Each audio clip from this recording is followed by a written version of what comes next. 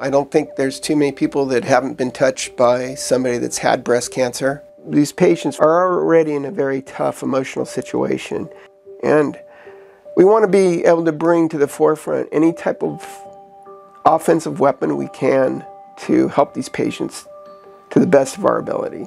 The uh, biggest challenges to a breast cancer surgeon is margin status. Margin would be saying how far the cancer is from the edge of the breast tissue specimen that we take out. Right now, we only have access to 2D imaging, meaning that we take a flat plate or a single view film of the specimen, and it's very hard to get a good look at what the margins are on a breast cancer specimen. If you have a positive or close margin, you often have to take the patient back to surgery to reoperate. Unfortunately, about a quarter of women who have a lumpectomy will have what's called a, positive margin, meaning one edge was just too close for comfort, so we need to go take a little bit more on that edge. We want to be able to bring the best technology to this area in order to help our patients where we can take the best care of them. This is the first piece of equipment that's come out that uses actually uh, CT technology so we can get actually a three-dimensional image. It's called Clarix imaging.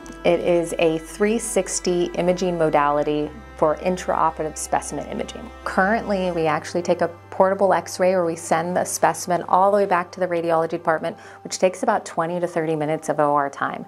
This will allow real-time evaluation of the specimen in the OR. And it's so fantastic. Instead of just having that single little dot where I can usually get with an x-ray or the wire that just tells me kind of a blob of tissue, I was able to see the lesion and slice by slice see where I maybe was close and needed to take a little bit more tissue. The Clarix machine will be housed at Kaweah Health. There's no other uh, machines like this in the valley. I can see exactly where the tumor is. You can see right here how that an that margin, that's anterior, CA. So I know I have to take more tissue on that side. It's going to save patients second operations and it can potentially improve their survivability. You don't have to go to Stanford, you don't have to go to Fresno, you don't have to go out of the area to continue your treatment.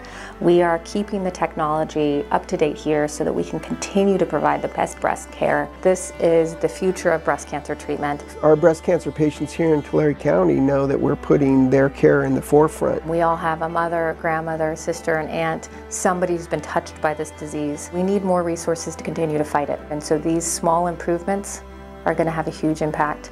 Please help and give. The technology we want to bring here will be for our community to take the best care we can of our cancer patients.